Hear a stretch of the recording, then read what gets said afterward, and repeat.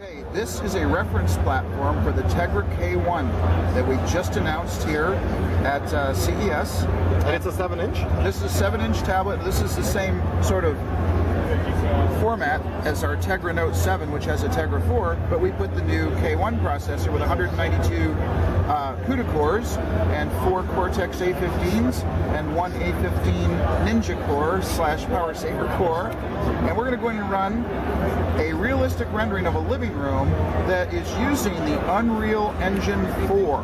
Okay, now this is the first time UE4 is running on a mobile device. None of the competition is even close to this. We're going to zoom in a little bit and take a look at some of the features of the Unreal Engine 4 being used in Tegra K1.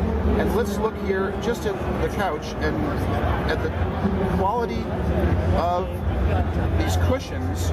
I mean, they look real. They look like all the imperfections in the leather, the way the leather looks natural, I should say, and tessellation is at work here. Whoops.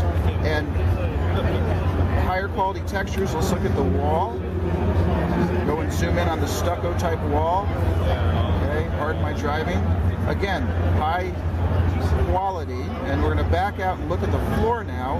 We have global illumination going on, reflections, uh, like I said, tessellation, all kinds of lighting. Let's go take a close look over here at the floor, which is wood grain, and go in. You can see over here some of the reflection.